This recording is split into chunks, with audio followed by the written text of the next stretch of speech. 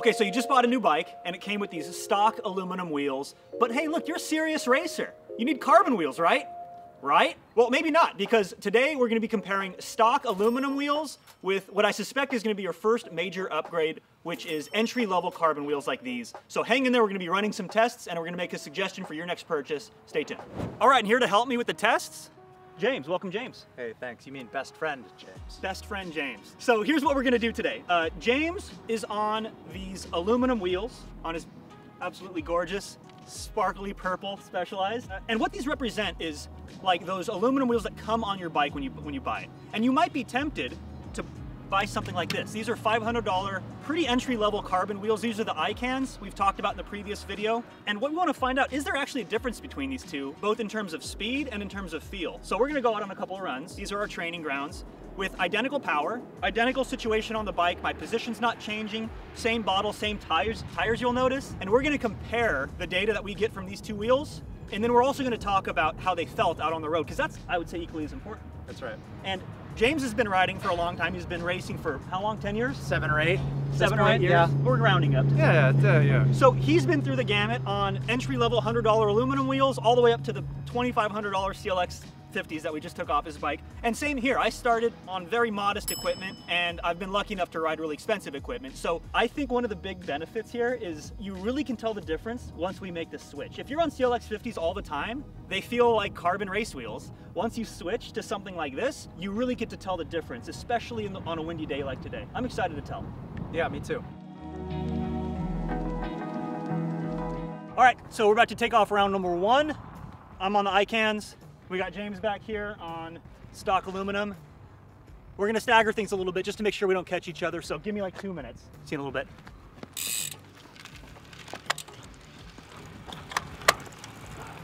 All right, that's been two minutes. Coming to get you, Jeff.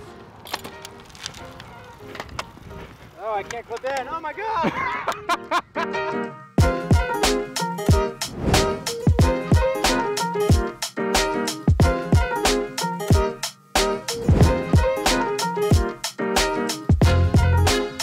How was it? That was harder than I was expecting. It's kind of hot out here and really windy. It's like a like a hair dryer out there blowing on me constantly. Um, I already kind of know how the iCans feel, so it's no surprise. I'm a little white knuckled when we uh, when we turn into the crosswind. Um, but uh, but yeah, um, I'm curious to see now in contrast to the aluminum wheels how those are going to feel in round two. I think that James should be showing up any minute now. He's, he came behind. Let's see.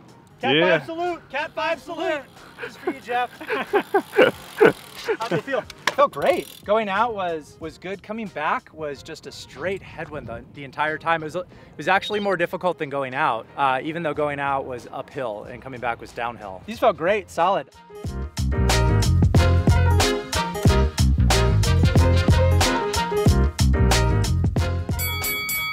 Okay, so we're doing round two now.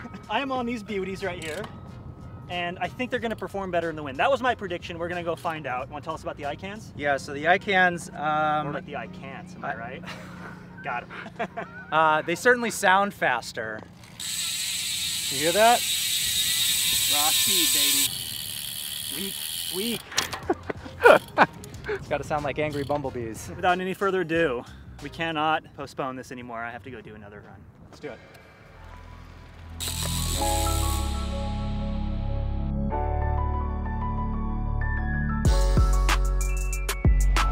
So the one thing about these wheels is that they are a little bit wider than the aluminum wheels. And so technically they should be a little bit more aerodynamic simply because the wider that the rim width, both internal and external, it allows the, the tires to balloon out. And according to the rule of 105, you want the width of the rim to be 105% that the measured width of the tire. And right now, as I'm looking down, the width of the tire exceeds the width of the rim. But it was even more so on the, on the aluminum wheels. Me, an armchair aerodynamicist, have to assume that these are technically more aerodynamic, whatever that might mean in this situation. Aluminum wheels feel just as comfortable as the iCans, also just as stiff. I can't really tell a difference. I think the tires, is having the same tires really blurs that line between any difference that might exist between the two wheel sets.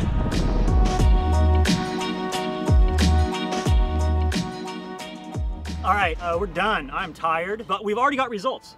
Yeah, that's right. First of all, how'd the iCans feel? You know what's really funny? They felt faster, I'm not gonna lie.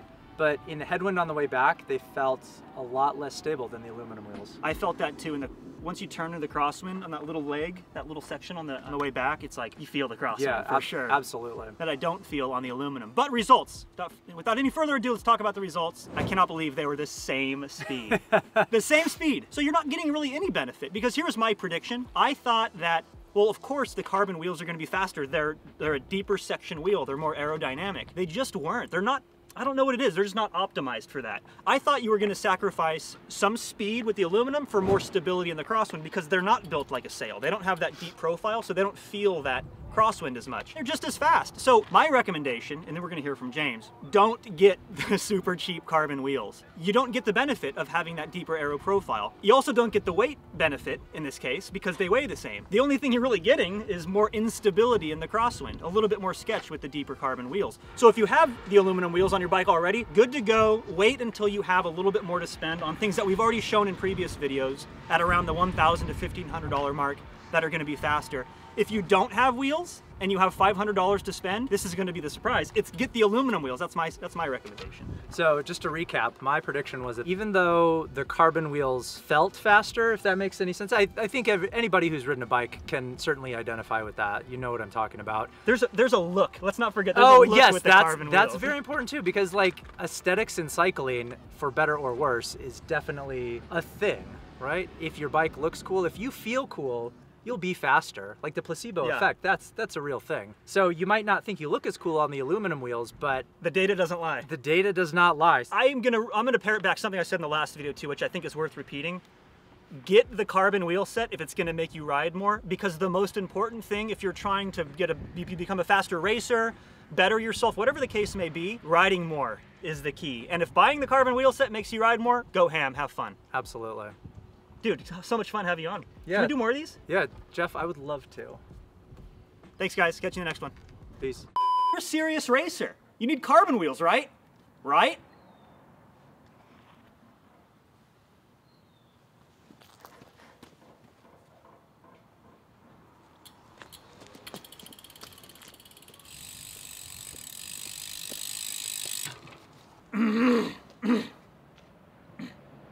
What's up, San Jose? No, no, I think those, those, those, the boxing, they do this at the, the weigh-in, right? All right, ready? Three, two. Okay, it's up to you. You You wanna hold hold it? it. We'll just do this. We'll just rip it in selfie mode, man. Yeah, hell yeah. Get the send news. Make sure the send news is in there. There's gonna be a million comments about that sticker.